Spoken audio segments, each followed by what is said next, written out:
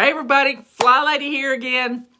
It's we're in zone four this week. This is our master bedroom, our master closet, and our bathroom in our in our master bedroom. So let's focus on getting this area clean. Get your get your bed all prettied up and uh, you know, I know this room is the messiest room in your house because when somebody comes over, you shut the door and you lock it from the inside.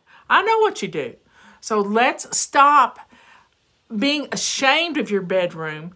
Our habit this month is making our bed every day. When you walk into your bedroom and you see your bed made, you're going to be absolutely in shock that you you had already made it up. It's going to be like uh, somebody else did it because you haven't done it in so long. Practice making your bed and make your room wonderful.